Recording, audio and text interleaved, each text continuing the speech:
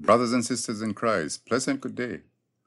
The St. Mary the Virgin Production Studios presents the second of our training series titled Becoming a Better Reader for Christ. The presenters are Mrs. Dorothy Noel and Miss Tamara Noel.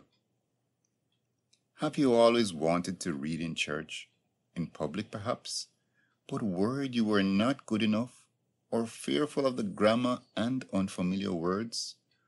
Or just wanted to improve your reading skills? Well, this is a golden opportunity to improve your ability to share the word with others, whether one or one million through Christ. It doesn't matter if God gifted you with a finer voice or maybe a deeper one. We are all God's creation. So take out your pen and paper and enjoy the feast of knowledge from the renowned creator of educational material, Mrs. Noel, ably assisted by the multi talented Tamara. We look forward to hearing you read soon. Enjoy.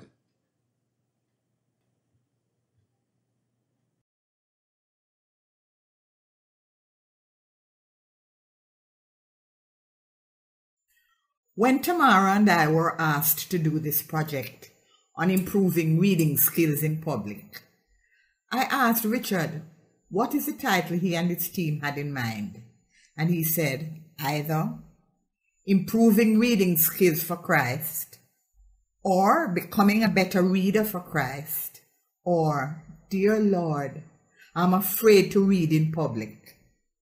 I passed them to Tamara, and she laughed loudly and said that the third one, Dear Lord, I'm afraid to read in public, was referring to her, who during her school life and part of her adult life was afraid to read aloud, even though she was a very good reader. Yes, I really feared reading aloud in public. To me, it seemed like the listener was a judge evaluating how well I could interpret and deliver what was written. Would I be clear? Would I be understood? Would I be loud enough? I was definitely nervous. My whole body would shake, but remarkably, my voice was always steady. I knew, though, that if I wanted to grow personally and professionally, I had to develop the skills that would build up my confidence and courage. I would also follow my three P's, but more about that later. Today, in our brief presentation, we will focus primarily on becoming a better reader for Christ by improving our reading skills in church. We will stress how to do it well. We want as many of us to develop the skills so we can feel comfortable to participate. In one of his epistles to Timothy, St. Paul says, Until I arrive, give attention to the public reading of Scripture, to exhorting, to teaching. 1 Timothy chapter 4, verse 30. So, there's an important mission for Christians, and at the heart of this is the value of reading the Scripture aloud. Hearing the scripture being read aloud is hearing the word of God, which is of major significance and is central to Christian worship. Standing between the word and the congregation is the reader who has a spiritual role to nourish the people and to impart the meaning of God's word clearly. As the writer Jeffrey Hardwick says, those who read scripture in public worship give voice to the word of God, testifying to what God has done and is doing in the world, and bearing witness to the good news of the gospel. Furthermore, by the gift of the Holy Spirit, Christ himself is present in the proclamation of the word. The reader of scripture has an integral part to play in this awesome event. This is a great honor and tremendous responsibility, demanding deep reverence and appropriate preparation. It requires always clarity and enthusiasm. There's a feeling of excitement as one interacts aloud with the gift of God. We first have to think of the comprehension of the scripture that we are reading. Your presentation as reader is influenced by your comprehension of the scripture. And to fully comprehend so that you can deliver well, you should first understand the type of passage. Meditate on the scripture and think about its meaning. Ask yourself these questions. Is it a story, a letter, a prophecy, a law, a song? Is it poetry? What is the tone? Why was it written? What is the mood? Is it joyous or is it sad? Is it proclaiming the glories of God? What message is God sending to us? Let's listen to Acts chapter 2, verse 1. When the day of Pentecost had come, they were all together in one place. And suddenly from heaven there came a sound like the rush of a violent wind, and it filled the entire house where they were sitting. Divided tongues as of fire appeared among them, and a tongue rested on each of them. All of them were filled with the Holy Spirit and began to speak in other languages as the Spirit gave them the ability. What is the type of passage that was just read? What is the mood? What verbal picture does it paint? How would you read that passage to answer those potential questions of your listener? Words like suddenly build the rhythm. The simile, like a strong driving wind, is like a musical crescendo growing to a climax. Note how the climactic statement, all were filled with the Holy Spirit at the end is read. How do you think that would impact the listener? Some of these climaxes in some of the biblical passages vary in intensity, and the reader has to understand what treatment is required loud or soft or silence. As the theologian David Gambrell says, Good scripture reading isn't simply the product of a well trained voice, it takes heart, soul, mind, and strength. Let your reading of scripture be infused with love for the people of God. Remember that the reading of scripture is a spiritual practice or discipline, and that your breath is supported by the Holy Spirit's power. Read with your mind engaged, thinking deeply about the meaning of the words as you say them. And read with your whole body. Stand up straight, plant your feet firmly, breathe deeply, and make eye contact as much as possible. As you approach reading, you should think of the vocabulary within the passage or the poem or the song or the letter. As you focus on the vocabulary, don't just think of the meaning of the words, but what they suggest and how they help the listener form a mental picture. Hebrews chapter 13, verse 8 reads Jesus Christ is the same yesterday and today and forever. There is so much to think about in this verse. It proclaims God as constant, consistent, unchanging. It is this quality of God that is faithful to what He is that allows us to trust Him. We can have confidence in God and His Word because He never changes. Another means of improving your public reading is a focus on three important areas pronunciation, enunciation, and inflection.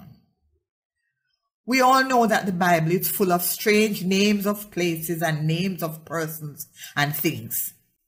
So we need to get these correct so that your good, clear reading is not affected by incorrect pronunciation and poor syllabification. Look at, for example, Acts chapters 9, 17, 21.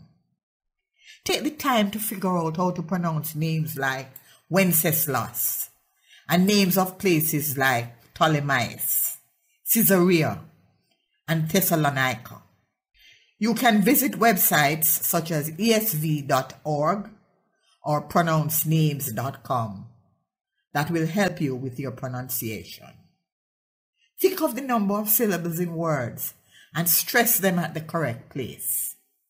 There are, for example, three, not two syllables in the word Eucharist, Eucharist, and not Eucharist.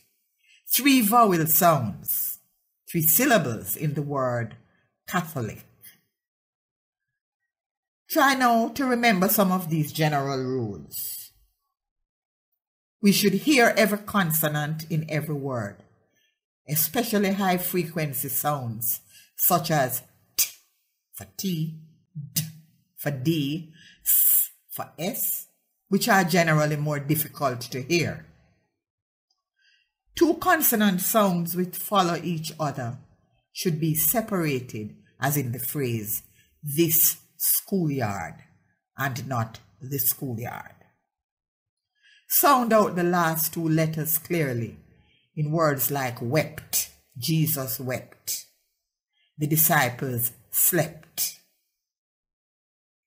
And of course, there is inflection, how you use your voice to present the meaning of the scripture in a more expressive way. Breathing, phrasing, pacing, pausing all interrelated. Very important. An important aspect of reading, and especially reading aloud, is the quality of your breathing. This can impact the phrasing of words, the pacing of your reading, when you pause, your diction, and it will impact meaning. In many instances, certain phrases should be spoken with one single breath to avoid a choppy sound. The Lord sets a father in honor over his children should be spoken with one continuous breath instead of the Lord sets a father in honor over his children. Pacing is very important. Good pacing. Readers should not rush through their reading of the scripture. Remember, the listener is trying to follow and to absorb what you have just read.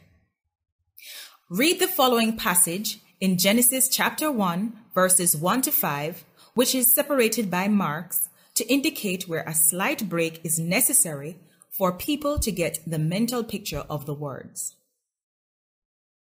When God created the heavens and the earth, the earth was a formless void and darkness covered the face of the deep, while a wind from God swept over the face of the waters. Then God said, Let there be light. And there was light. And God saw that the light was good. And God separated the light from the darkness. God called the light day, and the darkness he called night. Genesis chapter 1, verses 1 to 5. In reading, the use of the voice is an important instrument. We think of the pitch and the volume. Decide whether to use the high, middle, or low pitch voice, and whether that voice should be loud or soft. In the following verses in Joel chapter 2, verses 15 to 16, read aloud each phrase with a different voice pitch, volume, or pacing to make it sound more like natural conversation. In so doing, greater clarity of meaning is communicated to your listener. Blow the trumpet in Zion. Sanctify a fast. Call a solemn assembly. Gather the people. Sanctify the congregation. Assemble the aged. Gather the children. Blow the trumpet in Zion. Sanctify a fast. Call a solemn assembly. Gather the people. Sanctify the congregation. Assemble the aged. Gather the children. Joel chapter 2, verses 15 to 16. Differentiating between voices. It's a very important aspect of good reading. To distinguish one speaker from the other, spoken words in quotation marks should sound different, thereby highlighting that different persons are speaking. Voice differences are accomplished by a change in voice pitch, volume or timing, as well as through expression of emotions such as enthusiasm, sadness, fear, and so on. The voices should also differ from the narrator's voice. After these things, God tested Abraham. He said to him, Abraham. And he said, Here I am. He said, Take your son, your only son Isaac, whom you love, and go to the land of Moriah, and offer him there as a burnt offering on one of the mountains that I shall show you. So Abraham rose early in the morning, saddled his donkey, and took two of his young men with him, and his son Isaac. He cut the wood for the burnt offering, and set out and went to the place in the distance that God had shown him. When they came to the place that God had shown him, Abraham built an altar there and laid the wood in order. He bound his son Isaac and laid him on the altar on top of the wood. Then Abraham reached out his hand and took the knife to kill his son. But the angel of the Lord called to him from heaven and said, Abraham, Abraham. And he said, Here I am. He said, Do not lay your hand on the boy or do anything to him. For now I know that you fear God, since you have not withheld your son, your only son, from me. Genesis chapter 22, verses 1 to 3 and 9 to 12. The importance of practicing aloud. Because you will be reading aloud, you will need to practice out loud. Read the passage from beginning to end until you are confident that you will be able to capture its flow and rhythm. Reading it over several times helps you understand it better so you know what it communicates and how to communicate its meaning. As you practice, learn which words or phrases you will need to emphasize.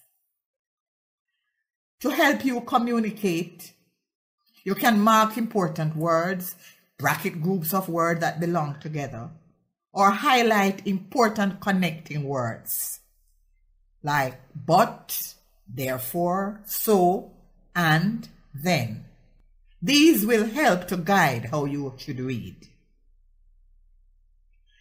And remember to read with your whole body. Stand tall, which will help you to breathe better. And if you can breathe better, you'll be able to project more effectively. The ministry of the word. Remember to get accustomed to the protocols of how to begin and how to end the reading of the word whether it is the Old Testament or the New Testament or the Psalm. This is usually stated in the lectionary in the church and in your liturgy. Before we go, I want to share my three P's with you. Along with all the skills we have spoken about in this presentation, these three P's have also helped me become a better reader. The first P is prayer. I pray before I read. I pray to God and I say, I can do all things through him who strengthens me. I pray that God takes over and that he will take me through the reading. The second P is practice. Practice, practice, and practice some more.